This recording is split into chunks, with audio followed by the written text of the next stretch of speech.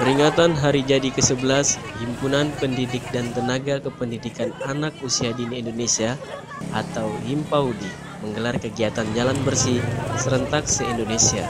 Karena di sini sudah ada beberapa terapis walaupun masih sangat kurang. Dari jumlah mendatar 60 anak autis, kita baru bisa melayani sekitar 15 orang.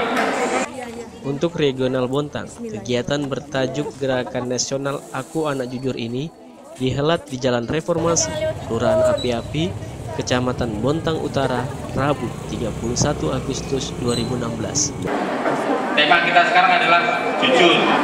Oleh karena itu, Kementerian Pendidikan melalui Dinas Pendidikan akan membuat pilot project sekolah zona nyaman anak. Sejak pukul 6.30 pagi, sekira 200 tenaga pendidik dan kependidikan anak usia dini Sebontang berkumpul di Pusat Layanan Autis Center Kota Bontang. Kegiatan ini pun dihadiri Kepala Dinas Pendidikan, Dinas Kesehatan, Camat Bontang Utara, serta Lurah Api-Api. Klik channel melaporkan.